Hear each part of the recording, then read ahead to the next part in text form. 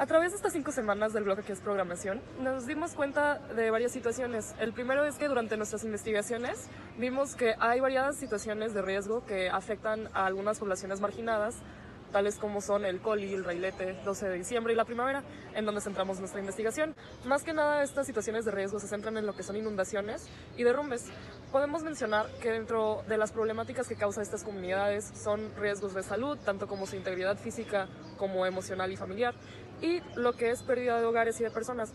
Con base en esta problemática, nuestra finalidad de estas cinco semanas del bloque de programación fue crear una aplicación que podría ayudar a mejorar estas condiciones que acabo de mencionar.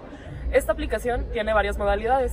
Dentro de las opciones encuentras el botón de opción de llamar ayuda que marca directamente al 911 y así acerca a las personas con una, a un directo vínculo con la autoridad que les pueda apoyar en ese momento. La siguiente modalidad se llama What Can I Do y básicamente lo que hace es que te acerca con la información que te va a permitir saber qué hacer en dado caso de diferentes desastres naturales.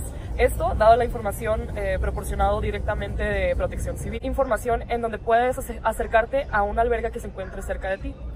La situación con los albergues es que la lista de estas se publica en dado caso de la situación problema que se vaya a, a, presentar y por ende la lista no se presenta hasta que esto caso, este caso ocurre. Por ende, proporcionamos información en donde uno puede marcar directamente a Protección Civil y preguntar acerca de dónde se encuentra el albergue que más sea conveniente para ti.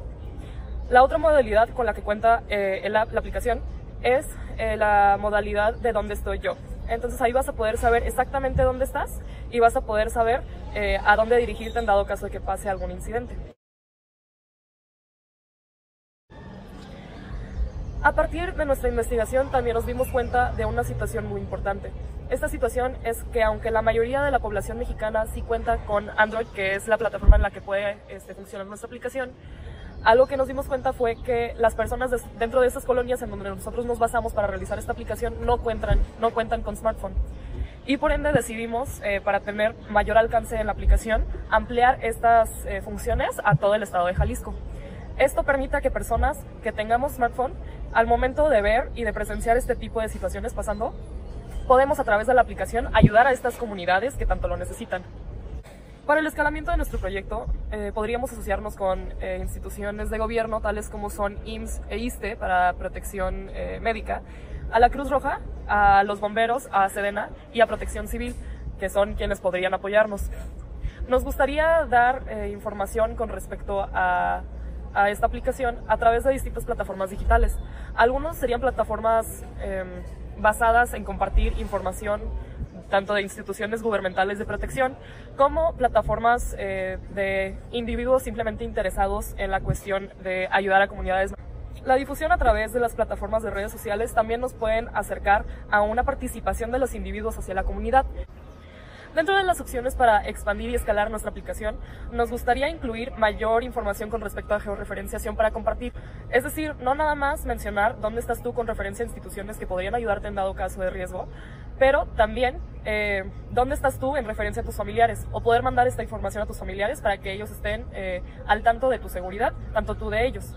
Al mismo tiempo, eh, podríamos agregar la, la opción de avisar que estoy bien y en este caso, después de alguna situación de riesgo, poder avisar a tus seres queridos que efectivamente te encuentras a salvo y en dónde te encuentras. En lo personal, yo creo que esta aplicación tendrá un gran alcance y una, está cumpliendo con una necesidad que la verdad em, tenemos sin importar nuestra, nuestro estado de marginación. En Guadalajara específicamente encontramos condiciones muy distintas hasta de una cuadra a otra.